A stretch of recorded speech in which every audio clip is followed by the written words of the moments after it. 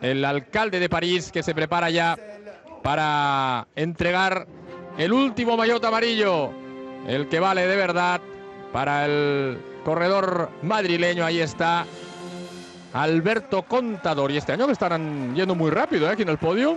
Sí, sí, otras veces eh, hoy va todo a gran velocidad. A gran, hay un protocolo con el horario y lo quieren cumplir. Lo han querido, lo han cumplido los corredores y el protocolo también. Ahí está saludando a todo el público. Segunda vez que está en este podium. Y yo creo que es muy, muy probable, eh, por no decir segundo, que le va, seguro que le vamos a ver más veces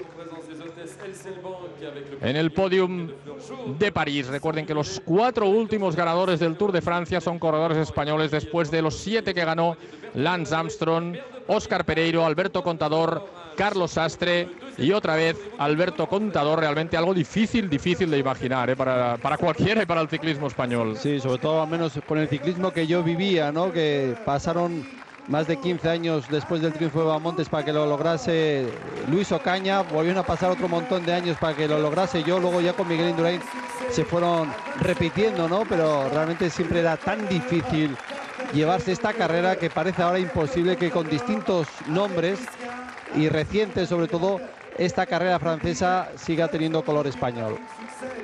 Y Alberto que sacó muchísima tensión en Verbier cuando se colocó con este maillot amarillo y ahora ya le hemos ido viendo disfrutar en los días posteriores, en estos siete días que ha subido al podium para conseguir la victoria final en este Tour de Francia 2009, con ese gesto característico, ese disparo que lleva siempre también en la gorra el uh, corredor